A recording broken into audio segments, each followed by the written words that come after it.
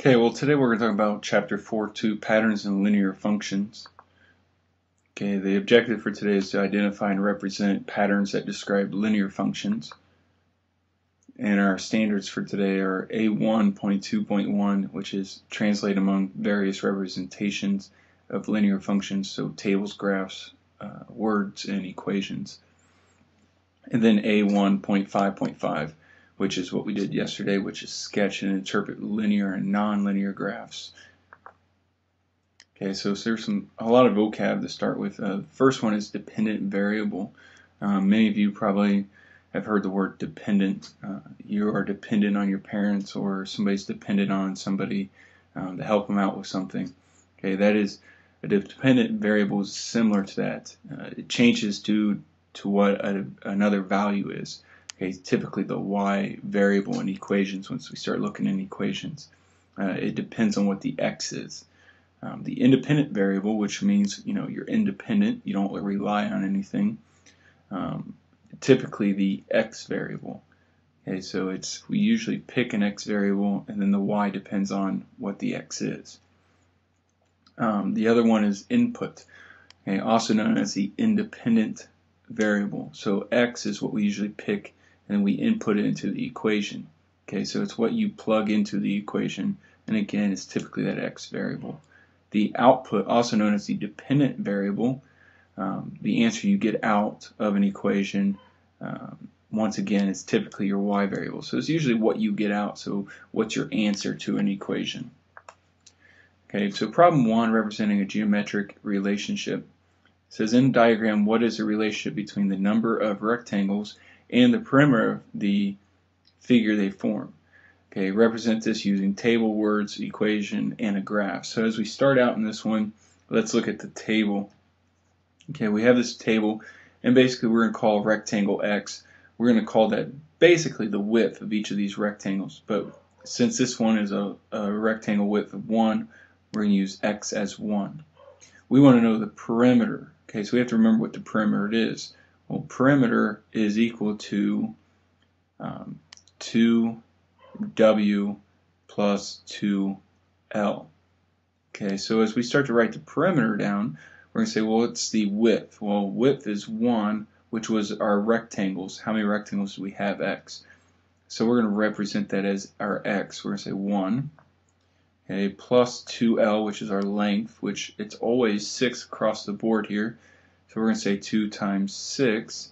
And we want to know what that equals. Well, 2 times 6 is 12 plus 2 is 14. So we write the ordered pair, which is xy, and it becomes 1, 14.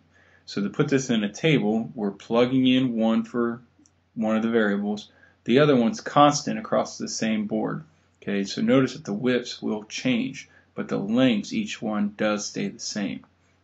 So as we go to the next one, how many rectangles do we have here? Well, we have two. So we say, well, now the width is two units because we combine those. So it's two. So notice that this number is going right here. And then we say 2 times 6 again, which is 12 plus now 4. So 12 plus 4 is now 16. So we get 216. Okay, so this is what we're getting out. We're getting 16 as the answer out of the problem. So we'll go ahead and say, all right, well, this one has three rectangles, and the last one we'll go ahead and write up is four rectangles. And then we'll do the same thing. But now we say, well, 2 times 6 is still 12, plus now 6 gives us 18. So now we have 3, 18.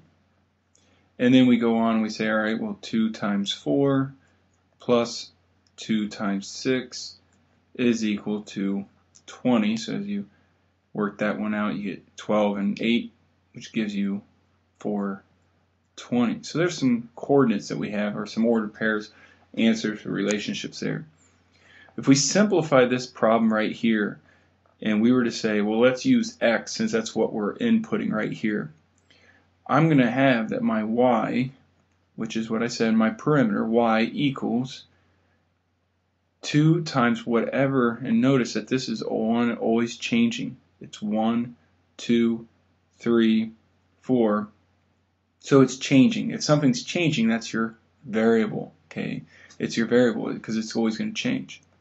But if you'll notice that 2 times 6, 2 times 6, 2 times 6, 2 times 6, every time it's still 12. We were always saying 12 plus something, 12 plus something. That's a constant. So we can go ahead and simplify that and write that as 12. What you have just made is an equation. You've written it up as an equation, and that's a linear equation. Okay, and we'll see why that's a linear equation here in a minute. So we go on the part B of this uh, one is now that we have the table, the uh, equation, now we just write it up as a graph. So as a graph, we're just going to make some labels. I'm going to say 1, 2, 3, and 4. And then I'm going to say, all right, well, I started out with 14, so I'm going to use 14. And just so I'm counting by twos, I'm going to put this little squiggly line there. It just means I'm cutting down. That This really starts at 0, 0 and goes 2, 4, 6, 8, just so I don't have to go all the way up to 14. Okay, I go 16, 18, 20, and I'll go ahead and go to 22. So 1 produced 14, 2 produced 16, 3 produced 18. You can see this back in the table that we just made. So all I'm doing is I'm graphing these coordinates that we already found in the last table. So you'll notice is that this makes a really nice straight line if we were to connect these. Okay, if we were to connect these, and I'll go ahead and do that. Granted that you know, my line's a little off there because uh, this is hand drawn. So what we make is a line right here. You'll notice that that makes a nice line, which is what we call linear. Okay, we call it linear because that's what it makes when we spell the word linear, it's a line, okay, and that makes a line, which gets into our function name and our linear function. Okay, a function is a relationship that pairs each input to one and only one output. So you'll look at the last table. If you reference that last table that we just did, every um, different input x value that we had only had one y value. Okay, so you didn't say like if I had one rectangle, I had a perimeter of 14 and a perimeter of 20. No, you had one rectangle that made a perimeter of 14. Okay, that was it. So that's a function. A linear function is ones that when you graph these out, they make a nice line. So they're straight lines, okay, not curved. Okay, if there's any type of curve to it, then it wouldn't be linear. So you have to make sure you do any type of graphs on graph paper because otherwise your hand-drawn ones, you're not going to see it quite right. Okay, so example two, analyzing graph. I want you to go ahead in this one, I want you to take this data, I want you to put it on a piece of graph paper. Um, if you don't have graph paper, use a ruler and use uh, like every inch is uh, one unit, two units.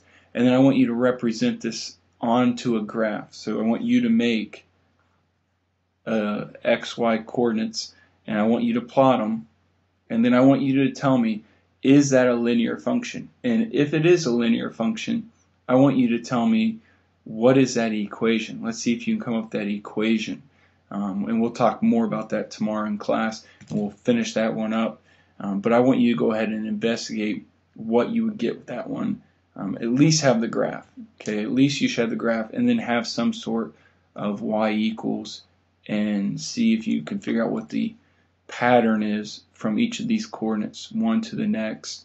Um, what's the, the difference? What's the increase? What's the decrease?